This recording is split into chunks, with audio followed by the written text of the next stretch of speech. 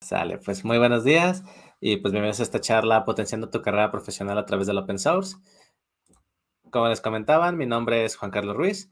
Actualmente soy software engineer en una comunidad de desarrolladores llamada Xteam, la cual conecta desarrolladores de software con empresas de, internacionales para captar talento de todas partes. Uh, soy coorganizador de un evento llamado Calzada Code, donde tenemos charlas de tecnología una vez al mes. Soy trabajador remoto desde antes de que se volviera obligatorio. Tengo ya de por ahí del 2014 más o menos trabajando de manera remota, entonces pues ya es algo natural. Y bueno, soy amante del open source, que es de lo que vamos a platicar el día de hoy. Entonces, antes de empezar, quiero hacer algunas aclaraciones. Esta plática no es como tal una charla introductoria sobre qué es el open source y cómo contribuir. Creo que ya ha habido otras charlas de eso. Esta charla más bien está pensada en por qué empezar a contribuir, qué es lo que nos puede dar de valor el open source. Y bueno, un pequeño disclosure antes de seguir, como les comentaba. Toda esta charla va desde mi experiencia personal, por lo que puede que haya cosas que a alguien más le resulten irrelevantes o digan que no, no les funcionó así, que fue diferente para ellos, pero igual trato yo de compartirles lo que a mí me ha funcionado, lo que yo he logrado y pues espero les agrade. Entonces, vamos a empezar ahora sí hablando de contribuyendo desde tu comezón. Y para ejemplificar esto, creo que lo mejor es empezar con mi propio primer intento de contribuir a un proyecto de open source. Hace ya algunos años estaba trabajando en una dev shop donde necesitábamos implementar un metabuscador de productos y una de nuestras fuentes de información era Amazon. Y pues bueno, estábamos trabajando con una biblioteca de este nombre, Amazon Product API. Sin embargo, la dependencia que estábamos utilizando no soportaba todas las operaciones que necesitábamos, así que decidí ponerme a leer cómo estaba hecha la biblioteca para agregar otras operaciones que nos faltaban. Y por ejemplo, pues envié un aporte para poder implementar la función de item page, que era para ver la página de detalle de un producto. En ese momento la biblioteca solo te mostraba el, mostraba el listado de productos, pero ya acceder al detalle y poder ver información más específica no era posible. Entonces, pues fue de, ponerse a leer un poquito el código, hacer los cambios necesarios y enviar el aporte. Y pues bueno, después de un par de aportes más al paquete, pues creo que el autor del proyecto ya no estaba tan involucrado en la dependencia, así que terminó ofreciéndome que fuera colaborador del proyecto para no estar abriendo pull request, sino simplemente estar ya mandando los cambios que yo necesitaba a la biblioteca y poder estarlos mandando a NPM para poder utilizarla en el proyecto que, que la necesitaba. Y bueno, de este primer intento aprendí que no se necesita ser un super senior para comenzar a contribuir, solo es, tener una necesidad y tener un poquito de ganas y pues bueno, simplemente empezar a escribir el código que necesitamos.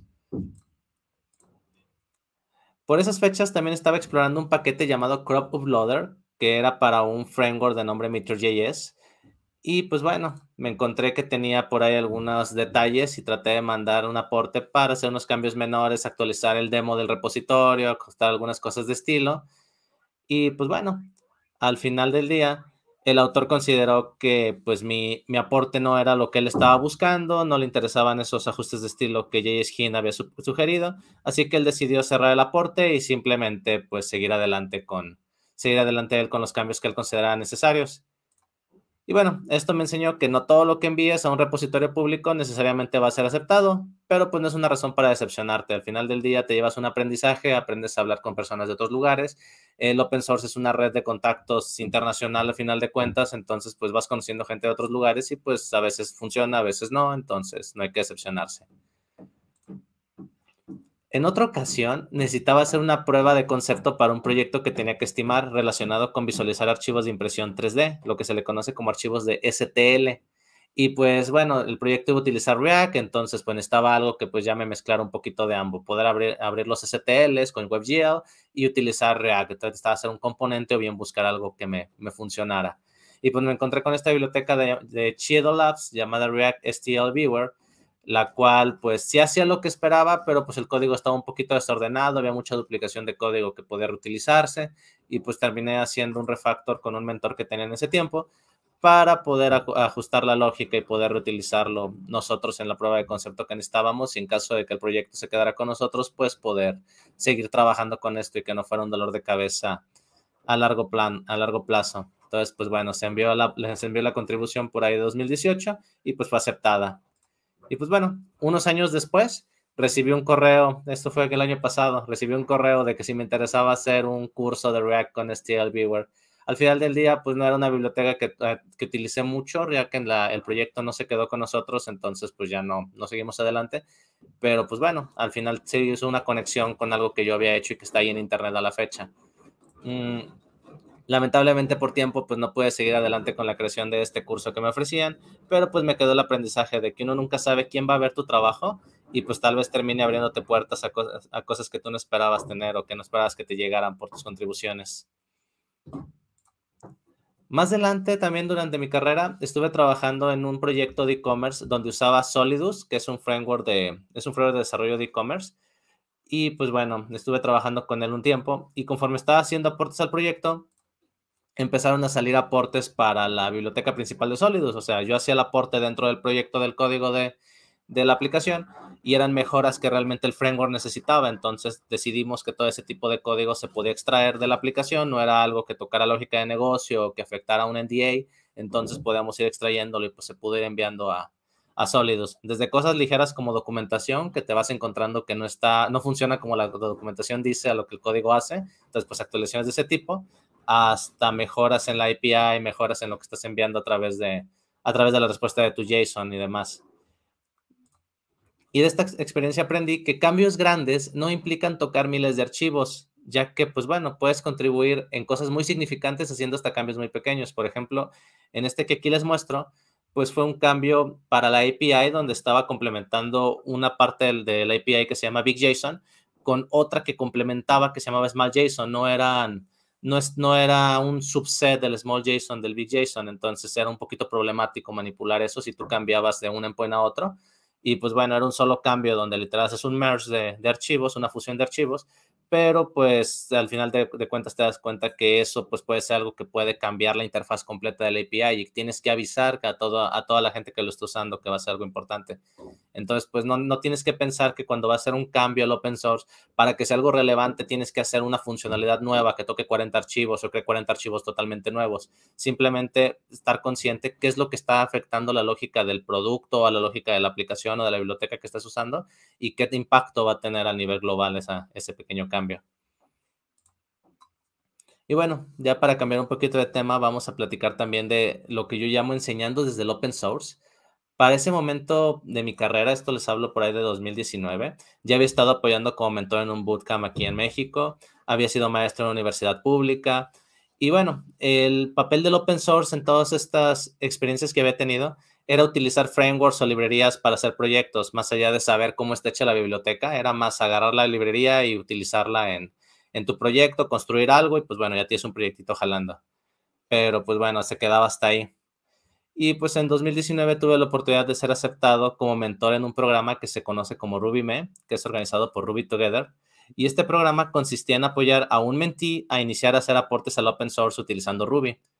Y pues bueno, los aportes previos que les estaba mostrando, más otros que no incluí, fueron mi carta de presentación para ser parte de este proyecto, porque pues bueno, puedo decir, tal vez yo haber apuntado al proyecto y decir, ah, pues yo sé programar, tengo ya tantos años programando, pero pues realmente lo que me abrió las puertas fue decirles, miren, aquí están mis aportes públicos a proyectos en Ruby, tengo experiencia haciendo open source y pues considero que puedo también enseñar a alguien a, que también empiece a hacer sus primeros aportes y, y contribuir a la comunidad del open source en Ruby y durante tres meses estuve trabajando con Alicia, una chica de Atlanta que decidió hacer su cambio de carrera de ciencias políticas a desarrollo de software. Incluso aquí en el, en el blog de Ruby Together eh, está un artículo donde ella platica toda su experiencia en la transición y lo que estuvimos haciendo durante ese, ese tiempo en el programa, cómo fue el involucrarse con proyectos de open source por primera vez.